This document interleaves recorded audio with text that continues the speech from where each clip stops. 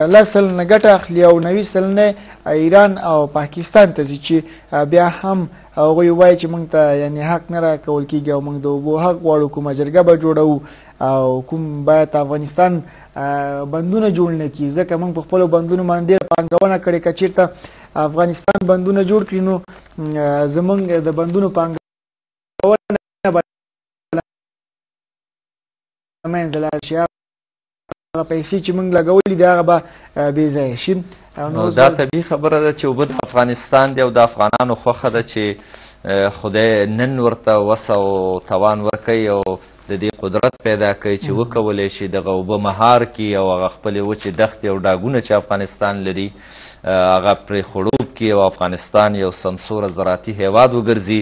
نو په دې کې افغانانو به په پیسو وانه خلی لکه اوس ته ویل چې په نیمروز او نور ولایتونو کې هلمند په دې ولایتونو کې خلک او په پیسو اخلي ته فکر وکړه او ایران غواړي چې هغه کمی وبو مونږ لرو هغه شته وبو نه مونږ خلاص کې او هغه خپل هیواد د پاره ځانګړي کړي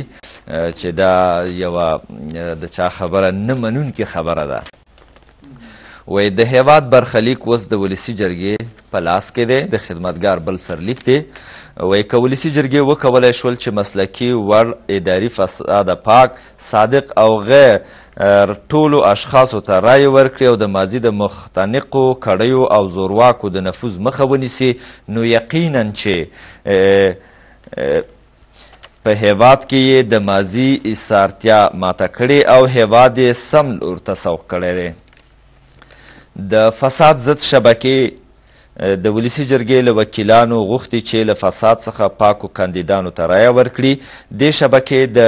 ولس له استازو وغوښتل چې د ولس د رښتینې ارادې د تمثیل او خپل د وفادارۍ سوګند ته په درناوي یوازې او یوازې هغو کاندیدانو ته رایه ورکړي چې په شرایطو پوره له اداري فساده پاک، وړتیا، اهلیت او رڼه سابقه ولري.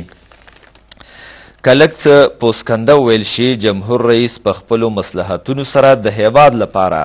د فساد یوه ډېره بده سناریو ولیکله چې اوس د دغه سناریو تطبیق له یوې پېړۍ څخه زیات له اسلافو تر اخلاقو دغه هېواد یو شمېر ناژمنو فرصت طلبو برمتګرو او فاسدو کسانو او کړیو ته په لاس ورکړ که چیرې د پارلمان وکیلان له توکمیز او قومي توپیر پرته ویښ نشي او دغه سناریو همدلته پای ته ونه رسوي نو له دې سناریو څخه به تر اسلافو او تر اخلاقو داسې یو فلم جوړ شي چې د ولس د غلامۍ ربړې تش لاسه کولو او بېوزله کولو پرته به څه بل په کې نه وي.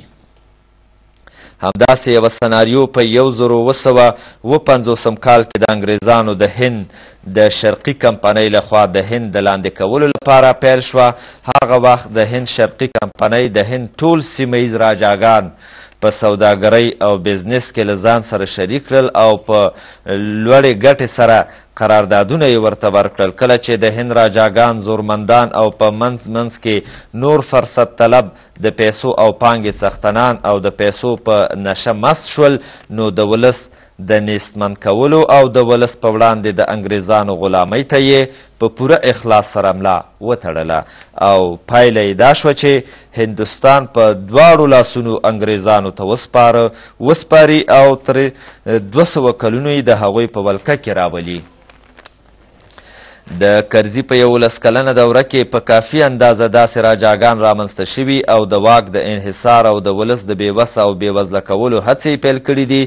چې په داسې حال کې چې خلک له جمهور رئیس څخه د انصاف، د قانون حاکمیت، عدالت او ښه حکومتوالۍ لپاره ژور اصلاحات او له فساد سره مبارزه غواړي، خو جمهور رئیس له ولس سره ژمنه وکړي خو جمهور رئیس له ولس سره ژمنه کړې خو بیا هم د اصلاحاتو په نوم د هغو پخوانیو راجاګانو ترمنځ څوکۍ سره اوړي راوړي او د اصلاحاتو نوم پرې دي او ولس په تورو نښتو پسې ولېږي په داسې شرایطو کې یوازې ولسي جرګې پاتې په دریم مخ کې صادق صاحب دلته یو خبر راغلی دی چې فکر کوم په دا روغتیا په وزارت باندې اور لګېدلی ده او نور البته جزئیات یا نور مهم ټکي به زمونږ په وروستیو خبرونو کې وګورئ په دم غړي خبر راغی چې د عامې روغتیا په وزارت باندې ولګېدلې ده او د نورو جزئیاتو په اړه زموږ خبرونه تعقیب کړئ سمه ده دغه مطلب پاتې برخه به زه قدرمنو لیدونکو ته تر یو ځایه ولولم ډېر لوی مطلب دی وې په داسې شرایطو کې یوازې ولسی جرګې او ملي شورا ته تمه کېدای شي چې له وضعیت سره مقابله وکړي د ولس لپاره رښتینی ادرس جوړ شي او د خپل ولس صلاحیت تمثیل کړي د دغو راجاګانو په وړاندې د ملي شورا کمزوري کمزوري دوه دي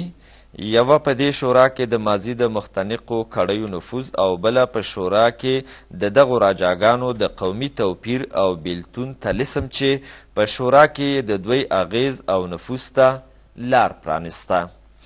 له نیکه مرغه لا هم د شورا ډیری غړي خپلواکه کسان او په اصطلاح له شاهي کورنیو او د دوی له فساد سره زیات تړلي نه دي.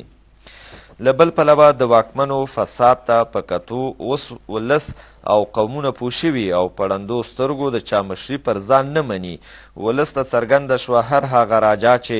به د قومیت تیږه په زړه پورې موښله اوس تر بل هر چا د خپل قوم وینو ته تږی ناست او خپل قوم یې تر نورو زیات ځورولې او یا هم تر بل هر چا قوم ته یې د ده ګواښ زیات دی. دا هغه مطلب و چې د هېواد برخلیک اوس د ولسي جرګې په لاس کې دی. دغه راز یو بل کوچنی مطلب هم